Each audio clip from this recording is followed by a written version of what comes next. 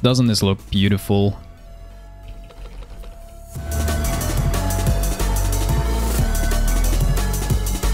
Welcome back, Magma Munchers. It's your favorite marketable plushie, Magma.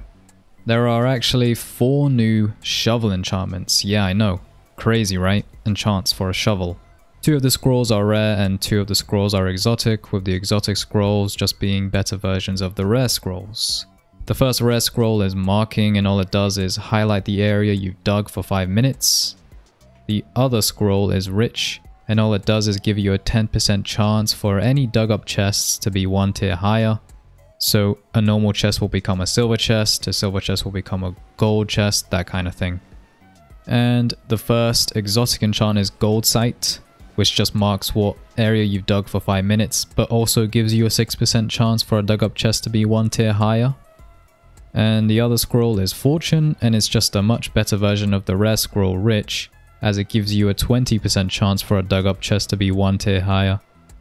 For those of you wondering, you get these enchantments by completing treasure charts and opening the chests you get for completing them.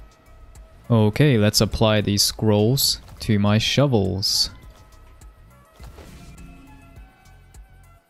You can see how that gold sight golden shovel looks with the enchantment effect around it. It also increases its rarity from uncommon to rare, as obviously it's an exotic scroll. Okay, let's apply the fortune scroll to a shovel. And you can see the same thing happened. It's now a rare scroll and the effects of it actually look pretty cool. Here I'm holding the gold sight golden shovel. You can see that it doesn't change the shovel visually. Same with the fortune golden shovel. It looks the exact same as a normal golden shovel. Now, the gold sight shovel is meant to mark the place you've dug for 5 minutes. So as you can see, this whole area has just been highlighted gold. I'll do the same down here. This whole area has been highlighted gold. This effect is actually pretty cool as it actually reveals that the way these islands are structured are in these short clusters or little chunks. It's kind of funny as it just looks like I'm walking down a piss stream. Now, the fortune shovel, I can only show you how it works by actually digging up chests from a treasure chart. So to demonstrate that, I will be completing this exotic treasure chart.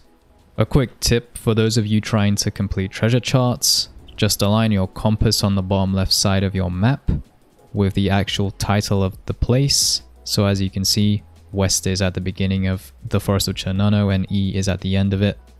And by using that, you can then figure out where you need to be for your treasure chart.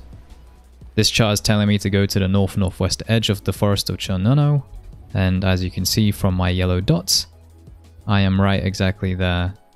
So a strategy to solve charts using these exotic chests will be to use the gold sight shovel to actually figure out where it is. And then once you found it, swap to your fortune golden shovel so you can then actually get a better chance at increasing the rarity of the chests you get.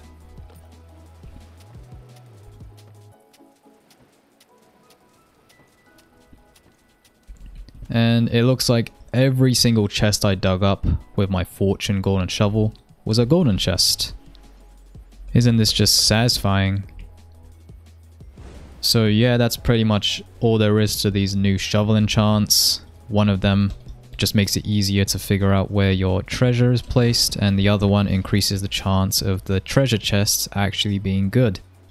That's gonna be all for this video. Make sure to like, share, comment, and subscribe. Have a great rest of your day, my fellow Magma Munchers. New.